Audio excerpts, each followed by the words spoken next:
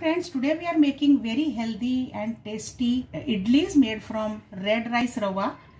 These will be instant and very tasty, also very soft and spongy at the same time and also we'll make a tangy chutney with this. Let us see the beautiful recipe. To start with I have taken 1 cup of idli rava. This is red rice idli rava the, which is more healthy but in case you don't have red rice idli rava, you can use the normal idli rava also. And half a cup of poha or beaten rice. Now first I will grind the beaten rice into a mixie jar. So this is ready. Also I have one cup of curd here. Now I'll mix everything, all the three, the idli rava, the ground poha and the curd into a mixing bowl. Mix everything well. Add some water. I am adding about half a cup of water I'll need some more water. This is perfect now.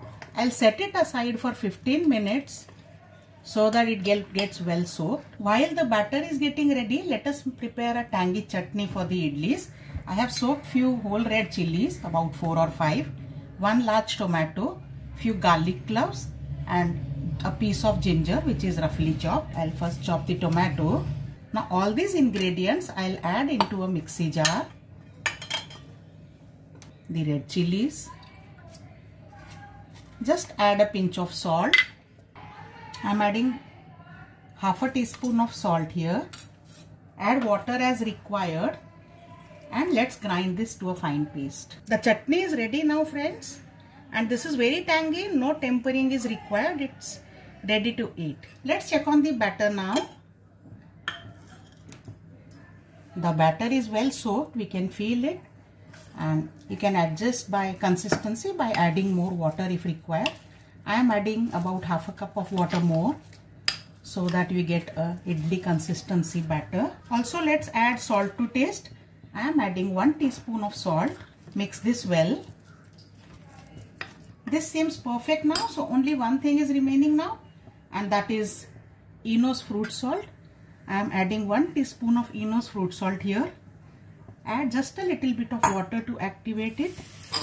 Mix this and not oh do not over mix I have the greased idli molds ready. So now I'll fill this batter into the idli molds.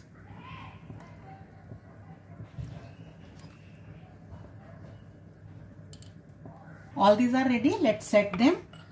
And now let's place this into a steamer. Cover this and steam for 10 minutes on high flame. It's 10 minutes so I'm turning off the flame. Let's allow the pressure to settle down a little then we'll open this. Let's open this and check. Do a fork test if your idlis are done. The fork comes out clean completely and so the idlis are well steamed. Uh, this what is coming is the part of the steamed idli because it is not yet set. Let us remove this the soft and spongy idlis are ready. Let's plate them. The tasty and healthy soft idlis are ready made with red rice rava. As I said, you can also use the ordinary rice rava if you don't have that is common idli rava and try this recipe. It's really wonderful. See you next time again. Bye.